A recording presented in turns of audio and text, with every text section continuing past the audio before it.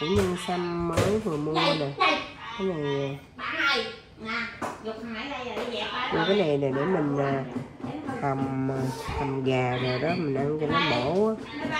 đó củ này củ này cái này có mấy trăm ngàn ha. Mua này, mình mua trên núi á, nên nó cũng rẻ nó không có mắc. Đó củ cũng to cũng to bằng cái ngón tay của mình á. 고정해가 안 돼. 그래, 그래. 쟤는 ngón 아까 tay ngón tay trái 쟤는 á. 아까 뭐다 썩어. 지금 쓰고 있어 어? 쓰고 있어 많고 있어 Ờ đúng rồi dạ bác Cái mùi gì đâu nó mùi tươi tươi vậy ha Là dạ bác nghĩa à, không có mùi xăm nha 20 ngàn won à Có đây 45 ngàn không? nó chỉ có mùi xăm chưa tao nói hàng dạt khác à Trời mắt hay quá, tên mắt quá ha Nhìn là biết hàng giạc à